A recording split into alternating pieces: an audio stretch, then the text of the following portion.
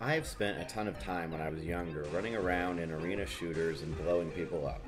It was a formative time in my development as a gamer and sneaking around trying to find games that I don't have to pay for. Now there's Quake Champions, a legacied version of these games that are available on Steam from id and Bethesda. To understand my split feelings about this game, it's important to break down the game based on the two parents of this title the gameplay by id and the online aspect by Bethesda. First, the combat is frenetic and enjoyable, and a staple of any of id's games. If you're looking for fast, gory, gritty combat that will harken back to Quake 3 Arena, then you have found it because it's alive and well in Quake Champions.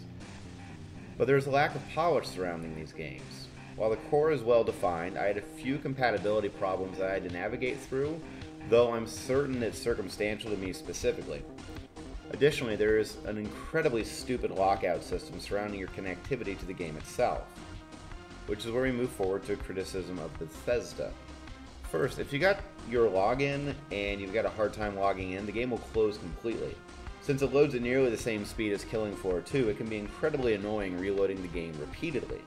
I was disconnected from a match mid game and it closed the entire game itself instead of letting me return to the main menu.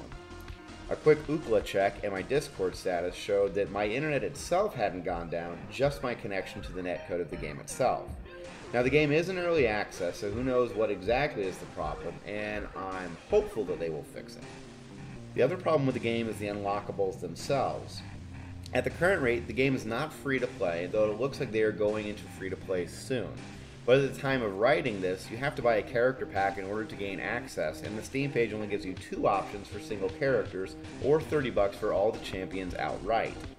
I don't necessarily have a problem with this outright. After all, I dropped 25 bucks on all the Battlerite champions, and so I'm not opposed to doing that at all.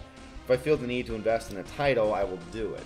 But at the time of Battlerite, it was well polished and I could play all the time and not get disconnected if the game ended too soon. But in terms of customizability, there are about 10 to 15 characters that you can play as, each with their own stat differences and customizability.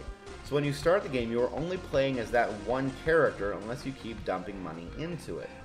Once again, if you were fine dropping the 30 bucks on all the characters outright, it won't actually be a problem. But otherwise, you're stuck playing the same character, and the unlockables just do not drop fast enough for you to make it customized and different, or buying a new character outright.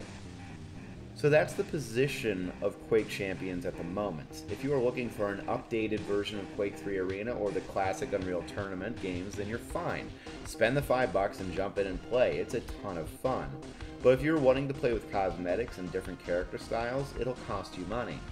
So you certainly won't have to, but you might want to. Check it out.